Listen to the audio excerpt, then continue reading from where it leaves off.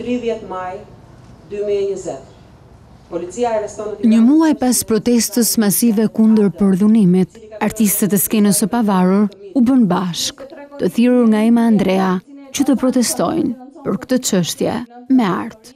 Një vajzë tetë vjeçare në Arapaj të Durrësit. Nga dera ku u formuan si artistë, Universiteti i Arteve, ata realizuan, shfaqjen protestë. Geshta xhanë zemër po jesh.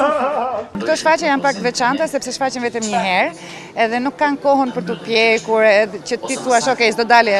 Kështu që ka bashkë edhe emocionin e e faktit që artistët janë mbledh si në ëndrra. për të realizuar një vepër përtej egos personale, përtej vanitetit, po për me, për me qenë përballë shoqërisë dhe, dhe politikës, edhe emocioni është shumë, është dhe njerëzor, nuk është thjesht artistik. Ndoshta emocionin e kam dhe nga ky fakt, që u mblodhën shumë njerëz, interesi i medias, se nuk është hera e parë që bëjmë gjëra të tilla, po me sa duket paska ardhur koha që Që të jemi të gjithë bashkë, që jo. po... Shpresoj mos marrim kritika vetëm nga distancimi sot. Okej, baret janë hapur, me ligjin jemi në rregull, sepse baret lejohen të jenë hapur, secili në bar është faqë, që që nuk distancimin e kemi rujt.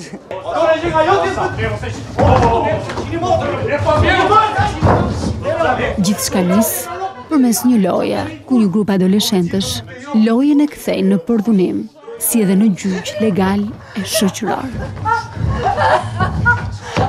Më vinte për të qarë, kur e shihja edhe pjesën që unë dola edhe vazhdonte gjyqi, më vinte domethënë edhe vesha ka me aktorët edhe pse sigurisht nuk kanë lidhje me personazhin jam kështu të urrej ty që e thua këtë Do ishte e mira që të shkonte gjëja, të shkonte zëri edhe në, në vendet më të errëta edhe atje ku ka më shumë nevojë. Në vendet ku pa ofenduar askënd, shoqëria është le të themi më rurale dhe më e, e pavëmendshme ndaj këtyre gjërave dhe këto fenomene kaq kaq të shëmtuara merren si pjesë e realitetit dhe thjesht kalojnë me një nuk dua të dëgjoj më të flasin për këtë.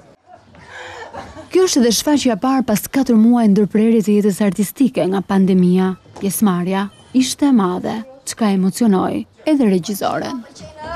Shfaqja e parë teatrore në kryeqytet. Ndihesh mirë besoj?